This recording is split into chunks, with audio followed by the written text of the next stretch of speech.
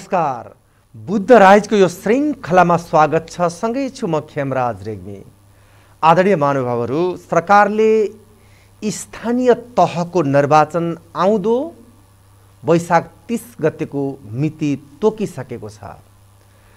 तर अहिले पनि कोरोना महामारी पूर्ण रूपमा अन्त्य भइसकेको छैन। यद्यपि सङ्क्रमणको दर घट्दो छ तर मृत्युको सङ्ख्या केही बढ्न थालिसकेपछि एउटा आशंका जन्मेको अवस्था छ।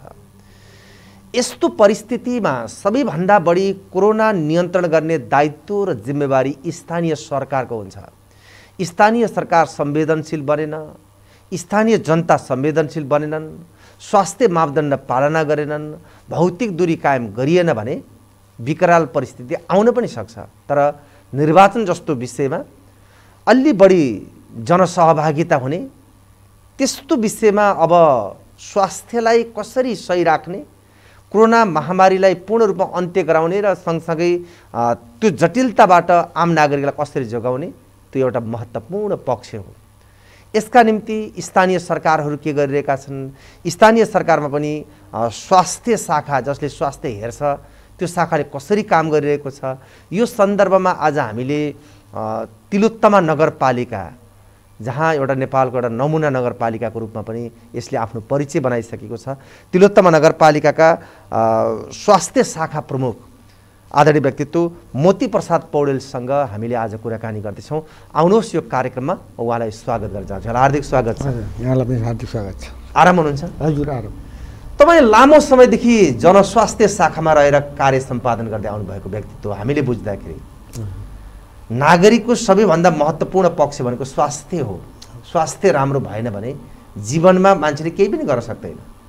विशेष गरी समग्र नगरपालिकाको अवस्था हेर्दाखेरि त्यहाँको स्वास्थ्य अवस्था हेर्दाखेरि त्यहाँको नागरिकको स्थिति हेर्दाखेरि त्यहाँ कोभिड नियन्त्रणको सवालमा यहाँले कसरी काम गर्नुभएको छ म त्यहीँबाट आजको कार्यक्रम सुरुवात गर्न चाहन्छु। हस् त सरलजी धन्यवाद। अब खास गरी यो यस तिलोत्तमा नगरपालिका सरले चाहिँ नमुना नगरपालिकाको पनि रूपमा रूप कुराहरू गर्नुभयो। अब एउटा सिधाछ नगरपालिका र त्यसपछि बुटोल नगरपालिकाको बिचमा रहेको र यो सिधाछ राजमार्गको सिधै मुटुबाट सिधाछ राजमार्गै यसको चाहिँ मुटु रहेको र दुईवटा नगरपालिका जोडिएको क्षेत्र भएको हुनाले र भर्खरैकै पाँच सात वर्षको अन्तरालमा फड्को मारेको नगरपालिका। अहिले नमुनाको रूपमा नगरपालिका नेपालको नमुनाको रूपमा चाहिँ परिचित हुँदाखेरि हामीलाई पनि गौरवको कुरा छ र यस क्षेत्रमा हाम्रो स्वास्थ्य क्षेत्रकै कुरा गर्दाखेरि अब अहिले कोभिड नियन्त्रणकै कुरामा विगत दुई वर्षदेखि लगातार कोभिड हाम्रो यस अधिराज्य भनौँ विश्वव्यापी रूपमा अथवा चाहिँ नेपाल अधिराज्यको रूपमा यो फैलिएको अवस्था हो। त्यहाँदेखि सुरु कार्यकालदेखि नै हामी कोभिड नियन्त्रण सङ्क्रमण रोकथाम र नियन्त्रण र उपचारको व्यवस्थापन कसरी गर्ने भन्ने हामी लागिपरेको अवस्था हो। र त्यो दिनदेखि अहिलेसम्म तिलोत्तमा नगरपालिका यस कोभिड नियन्त्रणको लागि चाहिँ धेरै अग्रणी रूप चाहिँ लिएको अवस्था छ। र यसको सङ्क्रमण र रोकथाम उपचारको लागि विभिन्न हाम्रो जनस्वास्थ्य स्वास्थ्यकर्मीहरू चाहिँ परिचालन साथसाथै भयो यसमा चाहिँ चाहिने क्वारेन्टाइन आइसोलेसन लगायतका चाहिँ सम्पूर्ण भौतिक पूर्वाधारहरू हामी यसमा चाहिँ जुटाइरहेको अवस्था र त्यो अवस्थामा लड्दै जुट्दै विभिन्न विद्यालयहरूमा पनि क्वारेन्टाइन राखेर आइसोलेसन राखेर चाहिँ गरेको अवस्था छ र अहिलेको अवस्थामा हामीले चाहिँ एउटा हन्ड्रेड बेडको चाहिँ आइसोलेसन अस्पतालको रूपमा चाहिँ हामीले चाहिँ अहिले त्यो रूपमा चाहिँ राखेको अवस्था छ र अहिले कोभिड जुन अहिले तेस्रो भेरिएन्ट जुन चाहिँ हाम्रो डेल्टा भेरिएन्ट सेकेन्ड भेरिएन्ट भयो गत साल अहिले चाहिँ अब ओमिक्रोन भेरिएन्ट अहिले थर्ड भेरिएन्टको रूपमा चाहिँ आउँदैछ। यसलाई यसको लागि चाहिँ हामी नियन्त्रणको लागि चाहिँ हामीले पहिला यसभन्दा पहिला एक महिना पहिला हामी यो जुन अस्ट्रेलिया अफ्रिकन मुलुकमा चाहिँ देखा पर्यो। र त्यसको लगत्तै अब भारत हुँदै भारतमा पनि केही फाटफुट देखा परेको र विश्वका अन्य देशमा पनि फाटफुट देखा परेको हुनाले नेपालमा पनि यो सीमा जोडिएको हाम्रो रूपन्देही जिल्ला सीमा जोडिएको जिल्ला भएको हुनाले यसमा पनि देखा पर्न सक्छ भन्ने हिसाबले हामीले अग्रिम तयारीको रूपमा हामीले एउटा व्यवस्थापन जुन विपद व्यवस्थापनको मिटिङ राखेर अब यसलाई कसरी अगाडि बढाउने भन्ने किसिममा हामी चाहिँ गइराखेको अवस्था छ र हामी यस कार्यक्रममा अहिले चाहिँ एन्टिजन परीक्षण र पिसिआर परीक्षणको रूपमा हाम्रो सिआइसिटी टिम परिचालन छ र अहिले टेस्टको हामीले टेस्ट गरेका छौँ र त्यसलाई चाहिँ टेस्ट गरेकोलाई हामीले होम क्वारेन्टाइनमा राख्ने व्यवस्था हाम्रो स्वास्थ्यकर्मीबाट हाम्रो टिम जुन सिआइसिटी टिम छ त्यो परिचालनबाट हाम्रो चाहिँ काउन्सिलिङ गर्ने घरमा चाहिँ त्यो पुग्ने उहाँहरूलाई राय सल्लाह दिने त्यो किसिमले किसिमले हाम्रो काम अगाडि बढिराखेको छ। जस्तै अहिले पनि भिडभाड बढ्दो छ खास गरी हजुर। चाहे त्यो हाट बजारकै कुरा गरौँ अन्य विषयको कुरा गर्दाखेरि। यस विषयमा स्वास्थ्य मापदण्ड पालना गर्न यहाँले अलि बढी जागरुक गराउन सक्नु भएन या सूचना प्रवाह गर्न सक्नु भएन कि के भइरहेछ खास यस विषय होइन अब यो विपद व्यवस्थापन समितिमा को बैठकमा पनि हामीले अब यो पच्चिसजनाभन्दा जुन नेपाल सरकारको मापदण्ड छ पच्चिसजनाभन्दा बढी भेला नहुने कुनै तालिम गोष्ठी सेमिनार विवाह बर्तुन आदि इत्यादि सामाजिक कार्यमा पनि हामीले चाहिँ धेरै भिडभाड नगर्ने भन्ने कुरो त त्यसमा हामीले सम्पूर्ण त्यसभित्र रहेका समितिहरूलाई जानकारी पनि दिएको अवस्था हो र त्यो नभएर अहिलेको अवस्थामा फेरि सङ्क्रमणको रूपमा चाहिँ व्यापक गत सालका जस्तै चाहिँ सेकेन्ड भेरिएन्ट जस्तै चाहिँ रूप आउँछ कि भनेर चाहिँ हामीले टोल विकास समितिलाई हामीले प्रत्येक हाम्रो तिलोत्तमा नगरपालिकामा लगभग चाहिँ एक सय सन् सतसट्ठी सन्ताउन्न हाम्रा चाहिँ टोल विकास समिति छन्।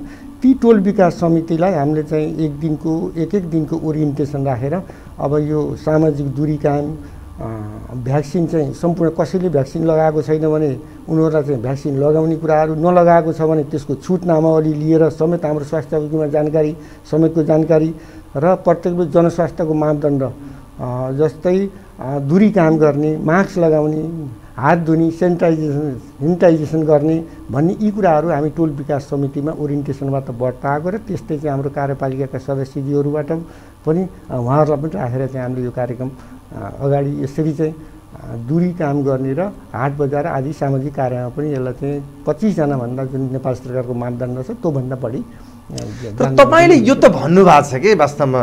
मोदीजी? तर व्यावहारिक रूपमा त्यो देखिएन भन्ने मात्रै गुनासो हो। अब व्यावहारिक रूपमा त देखिनको लागि त हामीले अब जनचेतना चाहिँ प्रत्येक यो अहिलेको अब यो तिन वर्षको अन्तरालमा प्रत्येक जनमानसले चाहिँ बुझेको अवस्था छ। अब त्यसमा बुझेको अवस्थामा पनि उहाँहरूले चाहिँ आफैले यो मनन गर्नुपर्ने एउटा कुरो चाहिँ अवस्था छ भने हामीले नियम कानुन दण्ड जरिवाना भन्ने कुरो त्यो त्यता जानुभन्दा पनि हाम्रो एउटा कुरो जानकारी प्रत्येक नागरिकमा यो सन्देश पुर्याउन आवश्यक छ भन्ने कुराहरू चाहिँ हामीले सोचेर त्यसतर्फ हामी लागेको अवस्था छ। अब त्यस्तो भिड हाम्रो तालिमहरू सेमिनार गर्दा पनि पच्चिसजनाभन्दा हाम्रो चाहिँ कार्यालयको हिसाबबाट कुरा गर्दा त्योभन्दा बढी भिडको भिड गराउने किसिमले हामी कार्यक्रम तय गरेको त अवस्था छैन।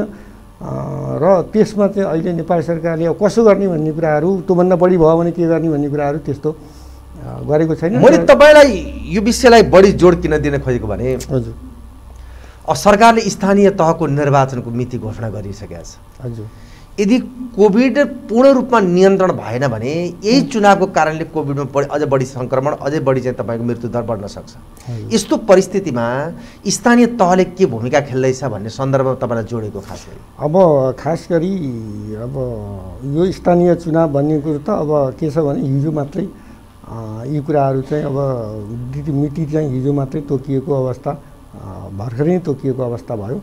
अब अबको दिनमा चाहिँ यो चुनावी माहौलमा अब के गर्ने भन्ने कुराहरूमा त अब फेरि हाम्रो कार्यपालिकाको बैठक अथवा हामी त्यहाँ राखौँला र कसरी जाने भन्ने कुरो एउटा चाहिँ त्यो सोच्ला नगर सरकारले सोच्ने कुराहरू भए यो चुनावको माहौलमा अब कसरी जाने भिडभाड नगर्ने गर्ने भन्ने कुराहरू त अब पछाडिका दिनमा सोध्ने भए अब अहिले चाहिँ चुनावी तयार भर्खरै भएको हुनाले हामीले कसरी जाने भन्ने कुराहरूमा चाहिँ अहिले यसमा अब ठ्याक्कै मैले चाहिँ भन्नु जस्तै मोदीजी यो खोप खोप खोप भन्ने शब्द जोडिराख्या छ। हजुर। कतिको प्रभावकारी ढङ्गबाट यसले काम गरेका छ। र सँगसँगै तिलोत्तमा नगरपालिकाभित्र कति प्रतिशत त्यहाँका बासिन्दालाई तपाईँहरू खोप लगाउनु भयो अहिलेसम्म?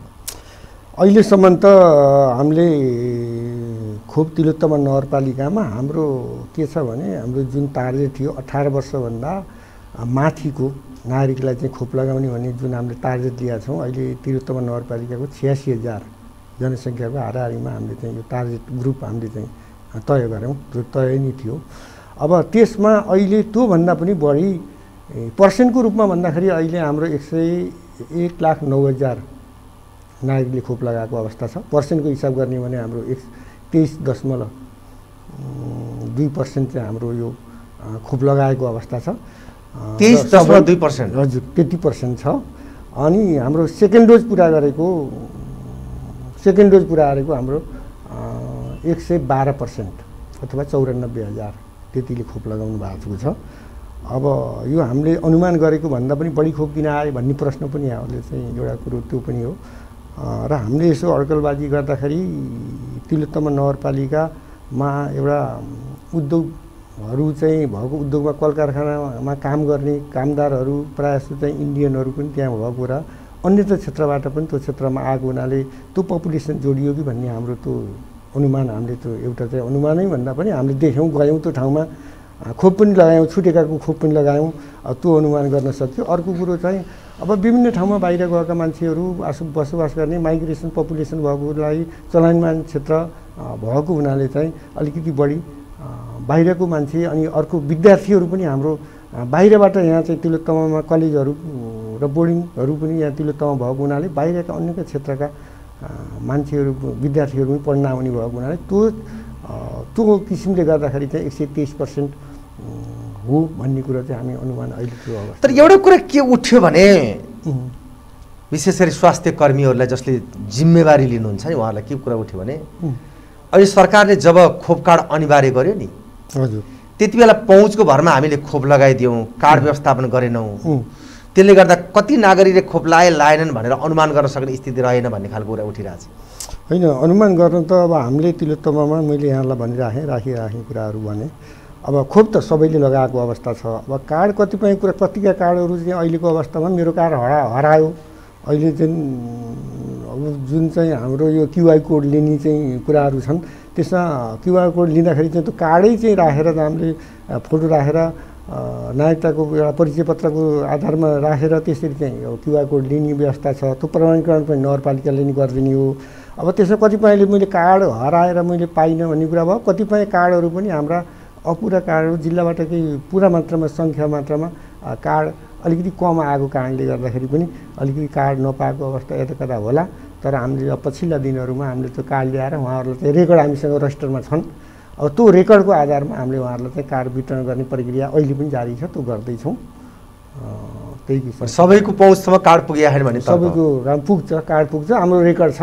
हाम्रो रजिस्टरहरू प्रत्येक ठाउँमा खोप केन्द्रहरूमा हाम्रो सत्रवटै वार्डहरूमा चाहिँ हामीले खोप सुरु गरेका छौँ संस्थामा।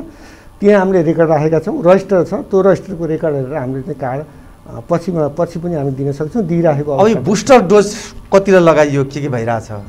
अब बुस्टर डोज भन्ने विषयमा त नेपाल सरकारले कुन के हो भन्ने कुराहरूमा अब छिनछिनमा केही निर्णयहरू हरू पनि नेपाल सरकारले गरेको अवस्था छ। अब चाहिँ कहिले अब अहिले चाहिँ के छ भने साठी वर्षभन्दा माथिकालाई बुस्टर डोज दिने दीर्घरोगी लाई त्यो अवधारणा चाहिँ नेपाल सरकारले त्यो अवधारणा गर्यो पछिल्ला दिनमा। अगाडि चाहिँ हाम्रो प पहिलो पङ्क्तिको स्वास्थ्यकर्मी सरसफाइ कर्मी र एम्बुलेन्स चालक अनि वाहनहरू सब वाहनहरू चालक र कर्मचारीहरू अघिल्लो अग्रिम पङ्क्तिमा जसले बसेर चाहिँ अलि जन बढी जनमानसको भिडमा बसेर काम गर्छ त्यो व्यक्तिगत व्यक्तित्वहरूलाई चाहिँ खोप दिने भन्ने पहिलो चरणमा पऱ्यो भने दोस्रो चरणमा साठी वर्षभन्दा माथिका दीर्घरोगी लाई चाहिँ खोप दिने भन्ने जुन प्रावधान आएको छ त्यसमा हामी चाहिँ खोप दिइराखेको अवस्था छ। उहाँहरूले लगाइराख्नु भएको छ एउटा कुरा मोतीजी खास आम नागरिकले विकास भनेको चिल्ला सडक भयो भने नालीसहितको बाटो भयो भने विकास सम्झन्छन् जहाँ डोजर गुड्छ त्यो विकास भन्ने ठान्छन्। तर जनस्वास्थ्यमा त्यो स्थानीय तहले कति प्रगति गर्यो के गर्यो भनेर हेरिदो रहेनछ कि? र एउटा नागरिक बिरामी भयो भने राम्रो उपचार दिन सक्ने हस्पिटल निर्माण भएका छैनन्। त्यहाँको स्थानीय सरकारले यो विषयमा के सोचिरहेछ तपाईँहरू के सुझाव दिनुभएको छ के भइरहेछ त्यहाँ चाहिँ वास्तवमा त्यो हस्पिटल निर्माण गर्ने विषयमा सवाल जवाफमा के भन्नुहुन्छ तपाईँ? अब अहिलेको अवस्थामा पछिल्लो दिनमा अब सङ्घीय सरकारबाट जुन त्यसैको मापदण्डमा रहेर जुन हाम्रा स्वास्थ्य चौकीहरू सातवटा हाम्रो तिलोत्तमा नगरपालिकाकै कुरा गर्दा सातवटा स्वास्थ्य चौकीहरू हाम्रो पहिला थिए र त्यस्तै हाम्रा तिनवटा स्वास्थ्य चौकीहरू पनि यो स्थानीय सरकार नहुँदै ती पनि हाम्रो जिल्ला स्वास्थ्य कार्यालय अन्तर्गतका ती सहरी स्वास्थ्य र स्वास्थ्य चौकी। पहिला योभन्दा पहिला स्वा उपस्वास्थ्य चौकी थिए त्यसलाई स्वास्थ्य चौकीमा परिणत भयो। त्यसपछि चाहिँ सहरी स्वास्थ्य पनि आवश्यक छ भन्ने अवधारणा त्यो आयो। तर स्थानीय सरकारको निर्वाचन भइसकेपछि त्यसपछि प्रत्येक वार्डमा चाहिँ नगरपालिकाको वार्डमा चाहिँ आधारभूत स्वास्थ्य सेवा केन्द्र जनतालाई नभई नहुने आधारभूत स्वास्थ्य सेवा आफ्नो घर दैलोबाट सरल सहज सहज पहुँचबाट सरल र सुलभ तरिकाले स्वास्थ्य सेवा प्रदान गर्नुपर्छ भन्ने अवधारणाका साथ यो आधारभूत स्वास्थ्य केन्द्रहरू खोले र त्यसै माताहतमा यो अहिलेको अवस्थामा हामीले सातवटा आधारभूत स्वास्थ्य आधारभूत स्वास्थ्य सेवा केन्द्र खोल्यौँ।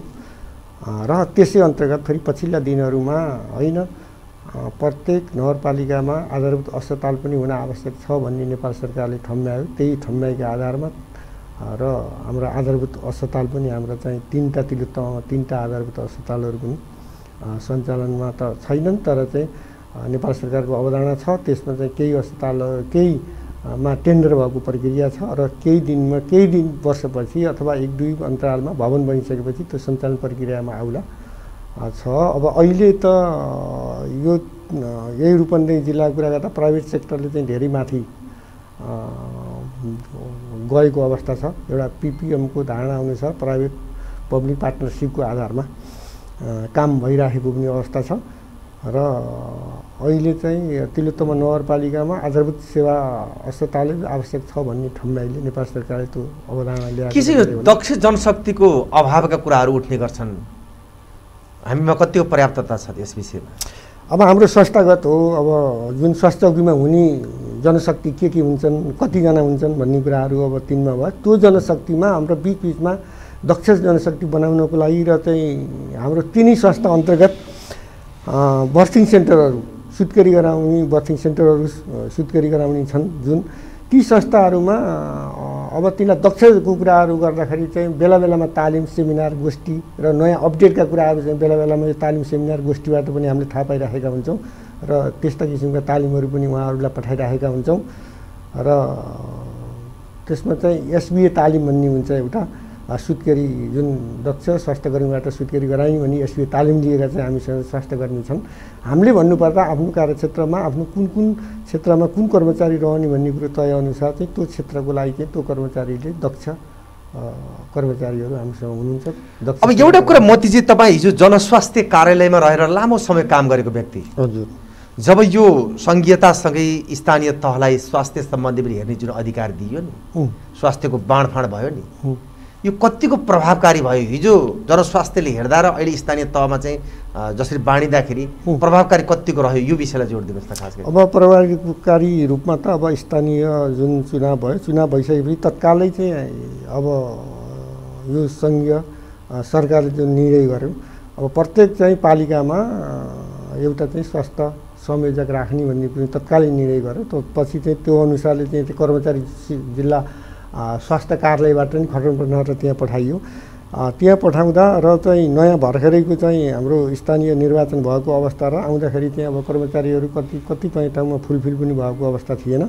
र त्यो संरचनामा हामी घुलमेल भएर त्यसमा स्थानीयको रूपमा यो जनस्वास्थ्य के हो त भन्ने विषयमा चाहिँ जानकारी गराउन र त्यो पाटोमा हाम्रो स्वास्थ्य कार्यालयमा सरासर त्यसमा चाहिँ पब्लिक हेल्थ अफिसर हुनुहुन्थ्यो। त्यो पाटोमा हाम्रो स्वास्थ्यको क्षेत्र हुन्थ्यो। त्यो स्वास्थ्यका कुराहरू के के छन् भन्ने कुराहरू त्यसरी पहिल्यैदेखि त्यो भएको हुनाले त्यस- त्यसरी अलिकति सजिलो बाटो भएको थियो र पछाडि हामी एकैचोटि चाहिँ स्थानीय निर्वाचन भइसकेपछि हामीलाई चाहिँ अब स्वास्थ्यकर्मीलाई अब स्थानीय पठाउँदाखेरि अब सबैलाई स्वास्थ्य सम्बन्धी के हो त भन्दा एउटा कुरो बुझाउन अलिकति समय लाग्छ त्यसमा। अब पहिला बुझाउनु पऱ्यो बुझाइसकेपछि उहाँहरूले बुझ्नुहुन्छ बुझेपछि अब पटको मार्ला भन्ने कुरो हामीले आशा गरौँ। र जुन जनस्वास्थ्यको रूपमा चाहिँ लिएको थियो त्यो फड्को मार्न अझ सकेको अवस्था छैन। अब बिस्तारै सबैले त्यसको चाहिँ बुझ्दै जाँदाखेरि चाहिँ पछाडिको अवस्थामा चाहिँ जनस्वास्थ्यको समस्या जुन उद्देश्यले गरिएको थियो त्यो उद्देश्य बमोजिम हुन सकेन भन्ने सकेन भन्ने कुराहरूमा त्यसमा त्यो उद्देश्य अनुसार चाहिँ अझ हुन बाँकी छ। केही कुराहरू भएको छन् बाँकी छ। होला भन्ने होला भन्ने आशमा चाहिँ हामी छौँ। हामी चाहिँ लड्दैछौँ भिड्दैछौँ। अब यो जनस्वास्थ्यको रूपमा चाहिँ यसरी राख्नुपर्छ भन्ने कुरा हामी राय सल्लाह सुझाव हामीले त्यहाँ राखेको अवस्था पनि छ। र माथिल्लो निकायले पनि त्यसमा चाहिँ आएर अनुगमन गरेर चाहिँ त्यसको कसरी गर्न जाने भन्ने कुरो बाटो त्यो माथिल्लो निकायको पनि दायित्व हो। र माथिल्लो निकाय पनि कुनाउने कसरी चाहिँ गर्ने भन्ने कुरा चाहिँ अझसम्म त्यो कुराहरू बन्न सकेको छैन र हामी लड्दै भिड्दै त्यहाँ चाहिँ यो हुनुपर्छ भन्ने कुरा हामी आफै लागेको अवस्था छ। अब एउटा कुरा मोदीजी जसरी हामीले यो कोरोनाको खोपलाई प्रभावकारी बनाउन खोज्यौँ या खोजेनौँ त्यो एकातिर छ। यसको कारणले गर्दा सानसाना बालबालिकाहरू खोप लगाउनबाट अलिकति वञ्चित रहे समय सीमाभन्दा घर्कियो भन्ने खालका कुराहरू उठे। यस विषयलाई तपाईँहरू कसरी काम गर्नु? अब यस विषयमा त अब हामी त माथिको नेपाल सङ्घीय सरकारको नीति निर्देशन अनुसार हामीले चाहिँ स्थानीयमा कार्य गर्ने हो। हामीलाई जस्तो किसिमको निर्देशन आयो त्यही किसिमले चाहिँ हामी त्यो काम गर्दै जाने हो। अब तर तपाईँलाई लागेको कुरा भन्नुहोस् न खास अब खास गरी चाहिँ अठार वर्षभन्दा माथिकालाई खोप दिने भन्ने जुन अवधारणा आउने। त्यो अवधारणा अनुसार हामीले चाहिँ त्यही किसिमले चाहिँ खोप सञ्चालन गऱ्यौँ। र पछिल्ला दिनमा आएर बाह्र वर्षदेखि सत्र वर्षसम्मका लागि विद्यार्थीहरूलाई खोप दिने भन्ने कुराहरू पनि आए। र त्यो भयो। अहिले पाँच वर्षको ला पाँच वर्षदेखि फेरि चाहिँ खोप सञ्चालन गर्ने भन्ने कुरा हो। अहिलेसम्म हामीलाई नीति आ निर्देशन आएको छैन। र त्यो आयो भने हामी चाहिँ त्यो यो होइन यो सन्दर्भ कोरोनाको खोपको खोपको कुरामा मात्र मैले गर्न खोजेको होइन कि। सानसाना बालबालिकालाई जुन खालका खोपहरू दिन्थ्यो नि। त्यो खोलमा खोपमा अलिकति चाहिँ प्रभावकारी हुन सकेन यस कारणले भन्ने खालको त्यो खोपमा प्रभावकारी छ एकदम राम्रो प्रभावकारी छ अब किन छ भने जन्मेदेखि चाहिँ हामीले चाहिँ जुन बालबालिकालाई खोप दिन्छौँ अहिले चाहिँ एघारवटा रोगसम्मको चाहिँ खोप दिन्छौँ हामी। बाह्रवटा रोग। अहिले आएर चाहिँ फेरि गत साल एउटा रोग भयो। बाह्रवटा रोगको चाहिँ हामी चाहिँ खोप दिन्छौँ। त्यो प्रभावकारिता चाहिँ हाम्रा संस्था संस्थाहरू प्रत्येकमा चाहिँ खोप कार्यक्रम चाहिँ सञ्चालन खटिएर काम गरेका छौँ भन्ने तर्क हो तपाईँको। खटिएर काम गरेका छौँ। रेगुलर हाम्रो चाहिँ खोप कार्यक्रम अनि पाँच दिन हामी अलगेका छौँ। एउटा वार्डमा अथवा एउटा हाम्रा स्वास्थ्य चौकीमा पहिलाको जुन स्वास्थ्य चौकीको पुनर्संरचना थियो स्वास्थ्य चौकीको जुन संरचना थियो त्योभन्दा पछाडिको पुनर्संरचना हामी गएका छैनौँ। सातवटा हाम्रो तिलोत्तमकै कुरा गर्दा सातवटा स्वास्थ्य चौकीमा हाम्रो पाँच दिन लगातार चाहिँ खोप चल्छ। र त्यो पाँच दिनसम्म प्रत्येक महिनाको हामी उन्नाइस गतेदेखि तेइस गतेसम्म हामी खोप सञ्चालन गरेका छौँ। त्यसमा चाहिँ सबैले खोप पाउनु भएको छ जानुहुन्छ बुझ्नु भएको छ। यस सम्बन्धीको खोपहरू चाहिँ प्रत्येकलाई जनचेतना भएको छ। हाम्रा महिला स्वयंसेविकाहरूले उहाँले चाहिँ नगएको ठाउँमा जानकारी कुरा महिला स्वयंसेविकाबाट पनि उहाँले चाहिँ जानकारी दिनुहुन्छ। यो प्रभावकारी चाहिँ खोपको रूपमा अहिले साना बालबच्चाहरूलाई प्रभावकारी छैन भन्न सकिन्न। एकदम राम्रो प्रभावकारीको रूपमा सञ्चालन भएको छ खोप आपूर्ति भएको छ। हामी त्यो क्षेत्रमा पुगेका छौँ हेरेका छौँ स्वास्थ्यकर्मी परिचालन भएको छ। समस्या छैन। समस्या छैन। अहिले जति यो स्वास्थ्य स्वास्थ्य बिमाका कुराहरू जसरी उठाइरा उठाइराखिया छ यो कतिको प्रभावकारी छ आम नागरिकहरूले यसमा कतिको चाहिँ रुचि राख्नु भएको छ तपाईँले के मान्नुभयो यसलाई? अब स्वास्थ्य बिमाको अवधारणा त नेपाल सरकार योभन्दा पहिला ल्यायो केही जिल्लाहरूमा चाहिँ पहिला यो कुन किसिमले जान्छ त भन्ने कुरो एउटा पाइलोटिङ प्रोग्रामको रूपमा पनि चाहिँ सञ्चालन गऱ्यौँ। र गर्दाखेरि चाहिँ कतिपय जिल्लाहरू बाहिरको कुराहरू सुन्दाखेरि तिलोत्तमा त भर्खरै गत सालदेखि चाहिँ यो बिमा कार्यक्रम चाहिँ लागू भएको र अरू ठाउँको सिकाइ हुँदा त्यति जतिमा पहिलो वर्षमा बिमा गर्नुभयो त्यति दोस्रो वर्षमा ल्याउनु भएन भन्ने कुराहरू हामीले यता सुनेको अवस्था हो। र त्यही अवस्थालाई तिलोत्तमामा हुन नदिन हाम्रो चाहिँ प्रत्येक वार्डमा हाम्रा परिचालिका हुनुहुन्छ स्वा स्वास्थ्य बिमा कार्यकर्ता। अब उहाँहरू घर दैलोमा हिँड्नु भएको छ। अब उहाँहरूले चाहिँ बिमा गराउनु कतिपयलाई गराउनु भएको छ कतिपयलाई उहाँलाई बुझाउन सक्ने अब अब बुझाउन के किसिमले बुझाउनु भएको छ उहाँहरू अब त्यो हाम्रो भित्रको पाटो रहेन। अब उहाँहरूको त्यो छुट्टै बिमा भन्ने चाहिँ छुट्टै सङ्घीय सरकारबाटै त्यो बिमाको परिचालन गर्ने चाहिँ त्यो उता भएको हुनाले हामी त्यो छैन तर चाहिँ हामीले के भन्छौँ भनेपछि प्रत्येकले बिमा गर्नुपर्छ बिमा गर्दा फाइदा हुन्छ। सबै नागरिकहरूले आम नागरिकहरूले चाहिँ आधारभूत स्वास्थ्य सेवा सबैले पाउँछन् पहुँच छ र दृढ रोगीहरूले पनि उनीहरूलाई खानुपर्ने औषधिहरू त्यही माध्यमबाट चाहिँ खानुहुन्छ भन्ने कुराहरू हामी चाहिँ काउन्सिलिङ उहाँहरूलाई आफ्नो स्वास्थ्य संस्थाबाट गरेको अवस्था छ र त्यति मात्रामा अब हाम्रो फड्को मार्न सकेको अवस्था चाहिँ छैन। यही अब एउटा कुरा अब अर्को प्रसङ्ग तपाईँसँग विशेष गरी जन हामीले कार्य सम्पादन गरिरहेका छौँ। यतातर्फ जनप्रतिनिधिहरूको कार्यकाल सकिँदैछ। यहाँहरूले काम गरिरहँदाखेरि कतिको राम्रो सहकार्य भयो तपाईँहरूको क्षेत्रमा जनप्रतिनिधिसँग? अब सहकार्य कुराहरू अलिकति यसलाई चाहिँ मैले पहिला पनि सरलाई भनिसकेँ। अब अलिकति बुझाइमा फरक पर्न सक्छ। अब हामी जस्तो म अहिले जिल्ला स्वास्थ्य कार्यालयमा लामो समयसम्म बसेर आएँ अब त्यहाँ बुझाउँदा त्यही किसिमले त्यही त्यही किसिमले नि काम गरौँ भन्दाखेरि अलिकति त्यसमा अप्ठ्याराहरू। केही आउँदो रहेछन्। अब त्यो अप्ठ्यारोमा हामी चाहिँ लड्दैछौँ भिड्दैछौँ आखिरीमा अब यो बुझाइ चाहिँ सबैमा होला भन्ने कुरो हामी सोचमा छौँ। तर केही अप्ठ्याराहरू चाहिँ कुराहरू त भएको छन् है। ती कुराहरूलाई फेरि चाहिँ उहाँहरूलाई मनन गराउँदै उहाँहरूले फेरि त्यो ती कुराहरू। राजनीतिक पहुँचले अलिकति प्रभाव पार्ने हो खास? अब राजनीतिक पहुँच भन्दा पनि अब राजनीतिक पहुँचका कुराहरू त अब आफ्ना ती हुने नि भए। अब पहुँचका कुराहरू पनि अब कसैमा त्यो जाला त्यो व्यक्ति विशेषका कुराहरू परे त्यो नभनौँ त्यो नेपाल सरकारको च्यानलमा त्यो राजनीतिक त्यसो जानुपर्छ भन्ने कुरो त म त भन्दिनँ है। र यही जनस्वास्थ्यका कुराहरू स्वास्थ्यकै कुराहरू गर्दाखेरि चाहिँ सबैलाई समान अधिकार दिनुपर्छ भन्ने सबैले चाहिँ स्वास्थ्य सेवा पाउनुपर्छ सबैमा चाहिँ स्वास्थ्य सेवा पहुँच हुनुपर्छ भन्ने हाम्रो मान्यता हुन्छ नै है त्यो मान्यतामा बुझाउन हामीलाई चाहिँ अब टाइम लाग्ला तर बुझ्दै जानुभएको छ उहाँहरूले बुझ्नुहुन्छ अहिलेको अवस्थामा अलिकति तपाईँले। जसरी प्रभावकारी ढङ्गबाट कार्य सम्पादन गर्नुपर्छ यो नगरीमा चाहिँ स्वास्थ्यका दृष्टिकोणले यसलाई अब्बल बनाउनको लागि यो गरिनुपर्छ भन्ने प्रस्ताव लिएर जानुभएको छ कि छैन? म गएको छौँ। अब त्यसको चाहिँ कार्यान्वयन हामीले। देखाउनु कारण हाम्रो चाहिँ वस्तुस्थिति के छ त यहाँको? सिचुएसन के छ त? स्वास्थ्य हामीले प्रगति लक्ष्यअनुसार प्रगति किन गर्न सकेनौँ भन्ने कुरो चाहिँ कारण ल्याउनुहोस्। कारण ल्याइसकेपछि हामी गर्छौँ र हामीले एउटा कुरो हामीले कारण देखाउनु पनि सक्नु पऱ्यो अनि यो कारणले हाम्रो स्वास्थ्य प्रगति माथि हुन सकेन। यसलाई चाहिँ तपाईँले थप स्थानीय सरकारबाट थप बजेट चाहिँ उपलब्ध गराउनु पऱ्यो भन्ने कुराहरू हामी राख्छौँ। त्यो राखेर पनि हाम्रो नगरपालिकामा त्यो कुरो भएको अवस्था छ। स्वास्थ्य क्षेत्रमा बजेटको लागि चाहिँ नगरपालिकामा त्यति कम छ भन्ने कुरो मलाई लाग्दैन। त्यसमा म सन्तोषजनक छु।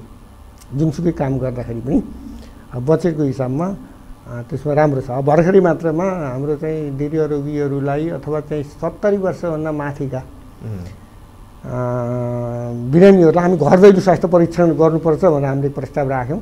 त्यसमा सहकारी नगर सरकारले चाहिँ हुन्छ भन्ने कुराहरू प्रस्ताव राख्यौँ। र हुन्छ गर्नुहोस् भन्ने कुरा राखेर हामी त्यो कार्यक्रम सम्पन्न गऱ्यौँ। अब त्यसमा चाहिँ सबै नागरिकहरू खुसी हुनुभएको अवस्था छ। सबैको घरमा चाहिँ स्वास्थ्य सेवा पहुँच भएछ भन्ने कुराहरू गर्न सक्यो भन्ने कुरो एउटा हामीलाई भान पैदा भएको छ। हामी त्यसमा गौरव ठान्नुपर्छ भन्ने कुरो हामीलाई पनि सोचाइ छ हाम्रा स्वास्थ्यकर्मी परिचालन भएको छ। एउटा कुरा एउटा कुरा बुझाइदिनुहोस् त जब सत्तरी वर्ष हिउँद नागेका बाबाआमाहरूलाई विशेष गरी स्थानीय त भनौँ सरकारले खास दिने सेवा के हो? हामी त्यहाँ गयो भने हामीले यो सेवा नि शुल्क पाउँछौँ हामीलाई राहत हुन्छ भन्ने यो हेरिसकेपछि उहाँलाई पनि लागोस् कि? अब उहाँहरू प्रायः जसो त्यो उमेरको नागरिकहरूलाई अब ज्येष्ठ नागरिकै मान्नुपर्छ हामीले उहाँलाई चाहिँ ज्येष्ठ नागरिकै नामाकरण गर्छौँ। अब त्यसमा उहाँहरू घर दैलोमा जाँदा एउटा कुरो दीर्घ रोगी कतिपयका अब सुगर बिपी अब आदि इत्यादि रोगहरूले उहाँ चाहिँ ग्रसित हुनुहुन्छ। त्यो बेलामा उहाँहरूको परिवारहरूका साथी परिवारहरू पनि धेरै टाढा रहने कुरो अवस्था छ। घरमा एकल अवस्था पनि कसैको देखियो। हामीले हेरेको अवस्था हो त्यहाँ है। घरमा जहाँ गएर हेऱ्यौँ। अब सबै परिवारसँग आफ्नो सपरिवारसँग चाहिँ कतिपय ठाउँमा नबसेको र एक्लाक्लै बसेको उनी पायौँ। तर हामी त्यहाँ जाँदा के पायौँ भनेपछि होइन स्वास्थ्यकर्मीहरू हाम्रो घर दैलोमा आउनुभयो हामीलाई सेवा दिनु दिनुभयो भन्ने कुराहरूमा उहाँले चाहिँ राम्रो रूपमा चाहिँ उहाँ दिनुभएको अवस्था चाहिँ पाइयो कतिपयको अवस्था के छ भनेपछि होइन हामीलाई चाहिँ सबै औषधि नेपाल सरकारले पुर्याउनु पर्छ हामीलाई घर दैलोमा दिनुपर्छ औषधि भन्ने कुराहरू पनि आए अब ती व्यक्ति विशेषका कुरा भए समग्र रूपमा भन्दाखेरि चाहिँ यो होइन हामीले गर्ने के हो खास हामीले के केसम्म गर्न सक्छौँ हामीले। त्यहाँ गएर उहाँहरूको चाहिँ अब भाइटल साइनहरू उहाँको बिपी भयो है? अनि त्यसपछि रेस्पिरेसन रेट कति छ उहाँको? अक्सिजन कतिसम्म उहाँले चाहिँ आफ्नो भएको छ। अनि त्यसपछि उहाँको बिपी कति छ? सुगर कस्तो छ भनेर सुगर टेस्टसम्म गरेर हामीले त्यो सुगरको औषधि बिपीको औषधि समेत हामीले चाहिँ त्यहाँ नि शुल्क गर्छौँ। नि शुल्क रूपमा चाहिँ जो। कसैलाई पनि। जो कसैलाई सत्तरी वर्ष नागेकालाई सत्तरी वर्ष नआएकोलाई। बिपीको औषधि सुगरको औषधि सुगर टेस्ट हामी त्यहाँ घर दैलोमा गरेर अथवा नागरिक चाहिँ तपाईँको स्वास्थ्य केन्द्रसम्म गयो भने पनि उनीहरूले चाहिँ पाउने भए। पाउने भयो पाउँछ। आफ्नो कार्ड देखाइसकेपछि। देखाउनु पाउँछ अन्य अन्य के के छ कस्तो कस्तो परि पारिवारिक स्थितिका भएको मान्छेहरूलाई पनि त त्यो सेवा गर्ने होला नि त स्थानीय हामीले। सबै नागरिकलाई अब पारिवारिक अवस्था त उहाँहरूको त मैले भनिसकेँ यहाँलाई जस्तो चाहिँ अब कोही एकल त्यस्तो रूपमा बसेको अवस्था सहारा बेसहाराको अवस्थामा त्यस्तो पनि देखियो। अब कोही आफ्नै संयुक्त परिवारसँग बसेको पनि देखियो। र उहाँहरूलाई चाहिँ घरमा गएर उपचार लिँदा उहाँ चाहिँ खुसी भएको अवस्था। भयो र कतिपयले हामीलाई सबै औषधि नेपाल सरकार दिनुपर्छ भन्ने कुराहरू एउटा कुरा फेरि मलाई मोदीजी दोहोऱ्याउन मन लाग्यो कि तपाईँ कोभिडको बेला जुन एउटा बडो खतरनाक अवस्था थियो जुन बेला हामीले उदाहरणीय काम के गर्यौँ वाह! नगरपालिकाले गर्यो स्वास्थ्य शाखाले गर्यो। अब जनताले अहिले गर्व गर्न लागेको कुरा के? जुन कुरा तपाईँलाई सुनिसकेपछि धन्यवाद दिउन्। अब अहिले कोभिड जुन सुरु भयो सुरु भइसकेपछि हामीले चाहिँ तुरन्त क्वारेन्टाइन खोल्यौँ क्वारेन्टाइनहरू सञ्चालन गऱ्यौँ।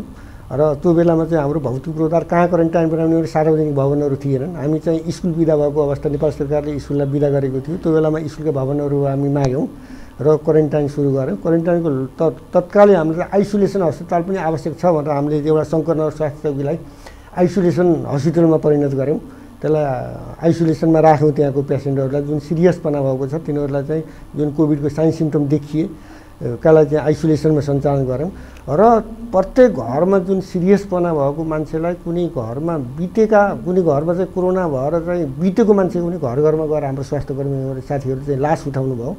जुन जनप्रतिनिधिहरूले पनि डराएको अवस्था थियो र त्यहाँको जनमानस पनि डराएको अवस्थामा स्वास्थ्य कर्मी आफै गएर चाहिँ लास उठाएर तपाईँको सब वाहनमा समेत हालेर दाह संस्कार गर्ने परिपाटी थियो। त्यो एकदम मैले हाम्रो स्वास्थ्य कर्मीलाई धन्यवादै दिन्छु। तुरन्तको के छ तपाईँको नेतृत्वमा कतिजनाको टिम छ नगरभित्र? मेरो हाम्रो नेतृत्वमा अहिले त भन्दा हाम्रो जनशक्ति त हाम्रो के छ भने तिलोत्तमा नगरभरिको जनशक्तिको कुरा गर्दाखेरि हामीसँग लगभग चाहिँ तिरासीजना स्वास्थ्य कर्मी मात्रै अझ कति भयो भने राम्रो हुने हो? अब हाम्रो त अहिले जनशक्तिको रूपमा गर्दा हाम्रो चाहिँ लगभग त्रिपन्नजना जनशक्ति हाम्रो तिर दरबन्दी अनुसार अब स्वास्थ्यकर्मी नै त्रिपन्नजना स्वास्थ्यकर्मी हो। अहिले हाम्रो तिलोत्तमा जन जनशक्तिको हिसाब किताबले स्वास्थ्यकर्मीको हिसाब किताबले कुरा गर्ने हो भने त हाम्रो चाहिँ कोभिड काजभन्दा पनि नेपाल सरकारले पठाएको अवस्था छ। हामीसँग सोह्रजना चाहिँ कोभिड काजमै आउनु भएको छ काम गर्ने। र त्यस्तै चाहिँ हाम्रो करार सेवामा डक्टरहरू पनि हामीले राखेको अवस्था छ। र अर्को चाहिँ हाम्रो यो संयोजनभन्दा अलिकति बढी। अब तिलोत्तमा अलिकति चाहिँ सुगम क्षेत्र भएको हुनाले कर्मचारीले माग गर्ने र नेपाल सरकारले पनि पठाइदिनु भएको हुनाले संयोजनभन्दा बढी कर्मचारी आएको अवस्था पनि गर्दा हाम्रो चाहिँ कर्मचारीको जनशक्ति हिसाब किताबले हाम्रो चाहिँ तिलोत्तमा चाहिँ धनी छ भनौँ धनी छ। एकदमै अन्त्यमा छ। वास्तवमा यहाँसँग कोभिडको अवस्था यद्यपि सङ्क्रमण दर घटे पनि मृत्युको सङ्ख्या घटेको छैन बढ्छ कि भन्ने आशंका यहाँनिर देखिएको छ। र सँगै सरकारले स्थानीय तहको निर्वाचनको मिति पनि तय गरिसकेको छ। जबसम्म स्वास्थ्य स्थिति राम्रो भएन भने भिडभाड हुने कार्यक्रम सहजै गर्न सक्ने अवस्था रहँदैन। अन्त्यमा तपाईँले यो टेलिभिजन मार्फत बुद्ध समुदाय टेलिभिजन मार्फत के भन्न चाहनुहुन्छ निचोडमा? अब त्यो भर्खरै मात्रै चुनाव भएको हुनाले अब कसरी जाने भन्ने कुरा त रणनीति त्यो अब नगर सरकारले त्यो अब कसरी जाने भन्ने कुरा त गर्ला। अहिलेसम्मको त कोभिडको जुन नियन्त्रण रोकथाम र नियन्त्रणको लागि अब मैले यहाँलाई भनिसकेँ नेपाल सरकारले पनि अब कतिपय कुराहरूमा चाहिँ विद्यालय बन्द गर्ने भन्यो फेरि चाहिँ खोल्ने भन्ने अवधारणा चाहिँ पनि आएको सुनिन्छ है। अब यो सङ्क्रमणको दर चाहिँ अहिले तिनीहरूमा चाहिँ त्यति बढेको चाहिँ देखिँदैन।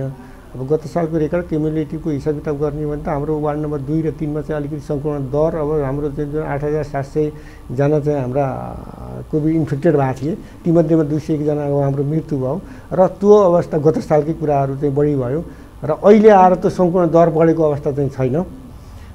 कमै देखियो छ। अहिले त्यो पछिल्लो दिनमा आएर केही दिनमा अगाडि बढेको थियो अहिले कम भएको छ। र अब यसको लागि हामी नगर सरकारसँग एकपटक बसेर कोभिडको सङ्क्रमण बढिहाल्यो बढिहाल्यो सम्भावना भयो भने हामीले फेरि अब यसमा चाहिँ प्रतिबन्ध लगाउने कुरामा स्थानीय सरकारलाई पनि माथि सङ्घीय सरकारले नीति निर्णय यो आफैले गर्न सक्छ भन्ने कुरो अवधारणा पनि आएको छ। अब त्यही अनुसार हामीले पछि गएर चाहिँ हामीले यो विपद व्यवस्थापन समितिको मिटिङ राखेर हामीले त्यहाँ छलफलमा ल्याउँछौँ। त्यो बढेको सँग तपाईँ भर्खर जाँदा जाँदै एउटा प्रसङ्ग विद्यालय खोल्ने अब तयारी छ। हजुर। अब विशेष एउटा स्वास्थ्य मापदण्डको कुरा पनि उठिरहेछ। तपाईँ के गर्नुहुन्छ त्यहाँ? अब त्यहाँ त अब विद्यालयमा त हामीले त्यहाँ के छ भने प्रत्येक विद्यार्थीहरूले चाहिँ अब यो जनस्वास्थ्यको मापदण्ड अपनाउने त्यसलाई चाहिँ दूरी काम गरेर चाहिँ विद्यार्थीहरूलाई चाहिँ राख्ने त्यो पनि गराउनु पऱ्यो एउटा कुरो प्रत्येकले मास्क लगाउनु पऱ्यो सेनिटाइजेसन गर्नु पऱ्यो त्यो विद्यालय खोलेको अवस्था छ भने र खोल्ने भयो त भने चाहिँ हामीले त्यहाँ गएर चाहिँ आफ्नै माताहतका चाहिँ जुन वार्डहरूमा रहेका स्वास्थ्य संस्था स्वास्थ्य संस्था छन् त्यहाँका स्वास्थ्यकर्मी गएर त्यहाँ चाहिँ अलिकति जनचेतना दिलाउने कुराहरू त्यहाँ देखेका कुराहरू उहाँलाई भन्ने कुराहरू र ती जनस्वास्थ्यको मापदण्ड बेला बेलामा घचघचाउने ती कुराहरू र कतिपय कुराहरू अब चाहिँ हामीले निर्णय गर्नुपर्ने कुराहरू हुन् त्यहाँ देखेका कुराहरू हामी नगरपालिकामा लिएर आएर चाहिँ विपद व्यवस्थापन समितिको बैठकमा राखेर त्योबाट निर्णय गराउन पनि त्यो पनि हामी गर्छौँ। महत्त्वपूर्ण समय दिनुभयो यहाँलाई म धन्यवाद दिन चाहन्छु। यहाँलाई पनि चाहिँ धन्यवाद। यी जनचेतनाका कुराहरू सम्पूर्णमा जुन तिलोत्तमा नगर लगायतका हामीले गरेका कार्यहरू चाहिँ सम्पूर्णमा जानकारी दिने जुन मलाई चाहिँ आज एउटा हौसला प्रदान गर्नुभयो यसको लागि चाहिँ यहाँलाई म स धन्यवादै टक्राउन चाहन्छु हस्त बुद्ध टिभीले आदरणीय दर्शक महानुभाव आज हामीले तिलोत्तमा नगरपालिका स्वास्थ्य शाखा प्रमुख मोती प्रसाद पौडेलसँग कुराकानी गऱ्यौँ। खास गरी सरकारले स्थानीय तहको मिति घोषणा गरेको छ। समुदायबाट अहिले पनि कोरोना महामारी पूर्ण रूपमा अन्त्य भइसकेको छैन। यस्तो परिस्थितिमा अब कोरोना नियन्त्रणको सवाल खोपको सवाल र अन्य सवालमा स्थानीय तहले के भूमिका खेलेको छ यो सन्दर्भमा उहाँसँग हामीले कुराकानी गऱ्यौँ। उहाँसँगको यो कुराकानीसँगै प्रविधिमा रहेर साथ दिने मित्र नरेश अधिकारीलाई विशेष धन्यवाद दिँदै यो कार्यक्रमबाट म पनि आगे चाहन्छु नमस्कार।